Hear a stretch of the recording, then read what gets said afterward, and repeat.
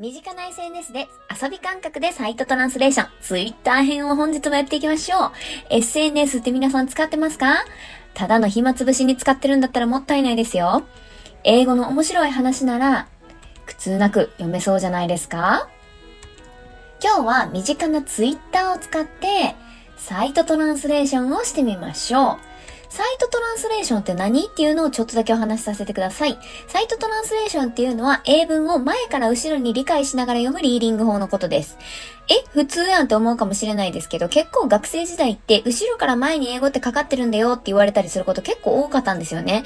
でもそれをしちゃうと一旦前から読んだ上でもう一回後ろから前に訳すので、二度手間になっちゃうんですよ。それって速読で一番足を引っ張るポイントなんですよね。なので、前から英語を読むことをすることによって、読み直すことがなくなるってことで速読力が上がるトレーニングだと言われています。Okay?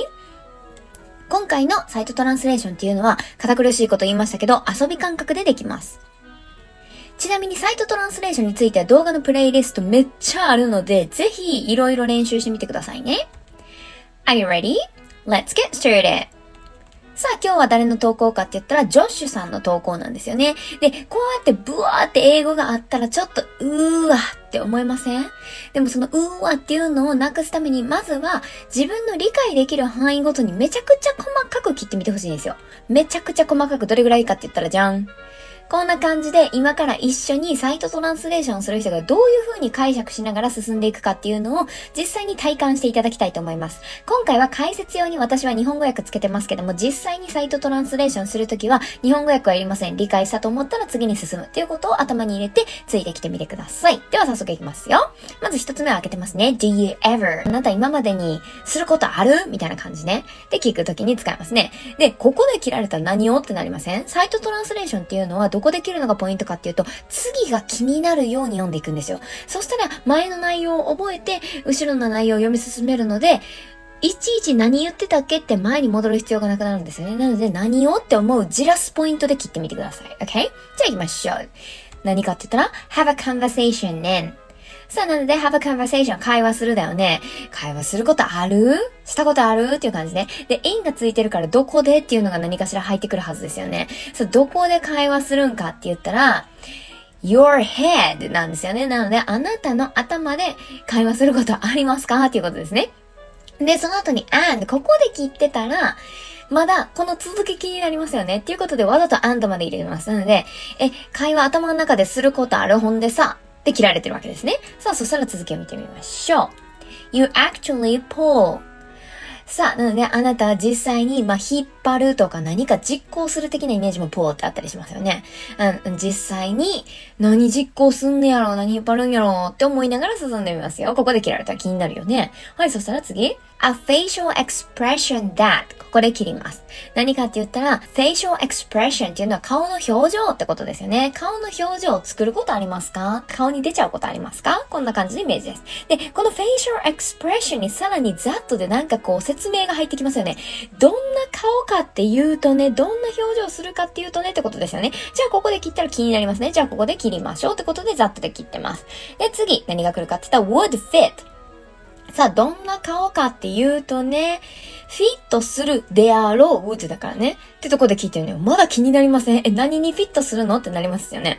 さあ、そしたらこっから続き。何にフィットする顔かって言ったら、the conversation, but っていうことなんで、その会話、先に頭の中で会話しますかっていう話をしてたんで、その頭の中の会話に合わせた顔ってことだよね。はい。で、but で、しかしってところで切られてるんで、え、何？ってなるじゃないですか。何がバットなのかなと思いますよね。じゃあ次進んでみましょう。Then you realize しかし、そして、でんだよね。you realize あなたは気づく。realize っていうのは気づくっていう時に使うのね。で、realize で切られたらまた、え、何ってなるじゃないですか。この何が大事ね。本当に今日何がキーワードね。さあ、そしたら何かっていうのを見ていきましょう。how weird it must look っていうことを言うわけなんですけど、how の後に形容詞とかってつけると、いかに何々か。例えば、いかに可愛いかだったら how pretty とかね、how cute とかって言うんだけど、いかに weird っていうのは変って意味なんですよね。違和感があるとか。how weird いかに変化 it must look it っていうのは今回は facial expression のことだよね。表情のことだよね。が見えてるに違いないってことだよね。いかに変に見えてるに違いない。さあ、そしたら、この続き何が来るんかな？とりあえず見てみましょう。To someone who っていうのが来るわけね。なので、誰に見えてるかっていうとねっていう続きが隠れてたわけですね。で、えっ、ー、と、誰かに。で、この someone だけだとわかんないけど、どんな someone かっていうのを who の後に説明してるはずなので、ここでわざと切ってます。OK? どんな人かっていうとね、どんな人にとって変だと思われてるかというとですね。doesn't know どんな人かって言ったら知らないんですよね。何を知らないか気になりません？だからここで切ってるんですね。しつこいけどね。You're acting out. さあ、あなたは、まあ、実演してるって感じね。act out ってなんだかね。なので、あなたが実演してるよ。頭の会話の中を実演してると知らない人たちにとってはめちゃくちゃウィアードだろうっていう話なんだけど、はい、続きいくよ。a whole scenario in 要は、whole っていうのは全体のね、全体のシナリオ in どこのシナリオかっていうと、your head なんで頭のあなたの中のシナリオが見えてない人にとっては、あなたがそのもう実演しちゃってる顔っていうのはめちゃくちゃ変に見えてるよねっていう話をここでしてるわけですね。OK。そしたら一緒に読んでみましょう。Ready? Do you ever have a conversation in your head and you actually pull a facial expression that would fit the conversation, but then you realize how weird it must look to someone who doesn't know you are acting out a whole scenario in your head? っていうことを言ってたわけなんですね。これ、一文に一応なってんですよ。すごくないですかめちゃくちゃ長いですよね。まあ、ここまでしなくても実際は全然ブツブツ切ってもらっていいんですよ。ピリオドでね。はい。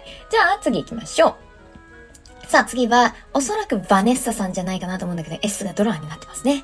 さあ、でもこれブワーって見たときに、なんかちょっと一瞬読む気失せますよね。なので、それを防ぐために、ちょっとずつ見ていくっていう癖を必ずつけてください。では行きましょう。met a bunch of guys from さあ、ここから行きましょう。met ってもう本当はね、I met なんだけど、まあ、切ってるわけですね。ツイッター140文字しかないからね。で、えー、会いました。a bunch of, a bunch of っていうのはたくさんのって意味です。なので、met a bunch of でここで聞いてもらっても OK。で、guys どんな人たちかっていうと、guys 男の人たち from で、出身ってことだよね、きっと。どこどこからとかね。さあ、そしたらどこの出身か気になりますよね。ってことで気になったまま進みます。さあ、次どこかって言ったら、Harvard。Harvard って知ってますか？まあ、アメリカドラマを見る人だったらよく知ってるかなてか、常識なのかな？日本でいう東大ですね。はい。で、さあ、そしたら、いっぱいね、ハーバード出身の人に会ったんでしょうね。はい、そしたら次。yesterday and うんで、昨日あったんだよね。で、and までで切ってると次が気になるので、次を気になりながら進んでください。はい、次。I kept pretending like そして私は pretend っていうのはふりをするって意味です。めちゃくちゃよく使います。で、kept だから、あの、ふりをし続けるってことですね。で、like ってことは、何々のような、like ってめちゃくちゃ便利なのね。何々のような、何々みたいなってことで、いくらでもつけることができます。あんまつけすぎるとかっこ悪いけどね。さあ、そしたら、じゃあどんな風にふりしたのか気になりますよね。like で切られてるから、まだ言われてないもんね。さあ、いきますよ。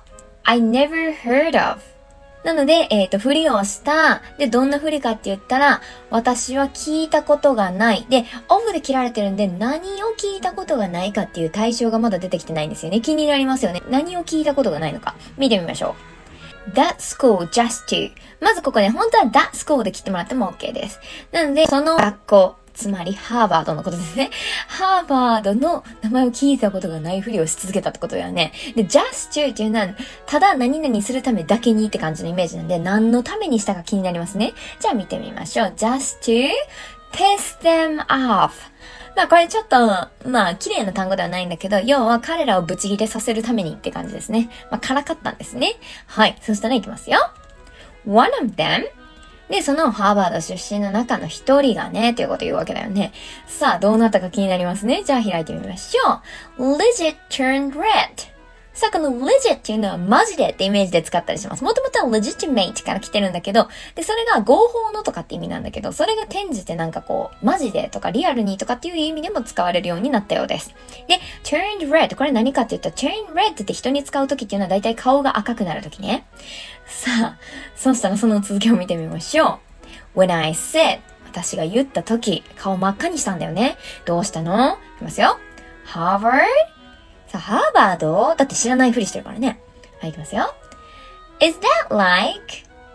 それって、何々みたいなもんって聞いてるわけね。ここでも like 出てきてるでしょ？これまたみたいなもんって訳してもらったら OK。A local community college? さあ、意味わかりますか ?local community college っていうのは、英語で、いわゆる短大、2年生の大学のことなんですよね。Yes. なので、それって、なんかあの、地方の短大って感じ？って言ったそうですよ。さあ、最後はおまけなんですけど、LMAOOO ってなってるんだけど、これどういう意味かって言ったら大爆笑ってことなんですよね。よく LOL とかっていうのは見たことあると思うんだけど、LMAO になると、laughing my ass off もう全然綺麗な言葉じゃないんだけど、もう大爆笑っていう意味になります。OK! そしたら通して読んでみましょう。いきますよ。Met a bunch of guys from Harvard yesterday, and I kept pretending like I never heard of that school just to piss them off. One of them legit turned red and when I said, Harvard? Is that like a local community college? L-M-A-O-O-O. ということを言ってたわけですね。はい。そしたら、お疲れ様でございました。サイトトランスレーションっていうのは長い文章だけ適用ではないんですよね。ぜひ、興味のある身近なものもサイトトランスレーションで練習してみてくださいね。Thank you very much for watching our lesson. See you in our next lesson. Bye for now.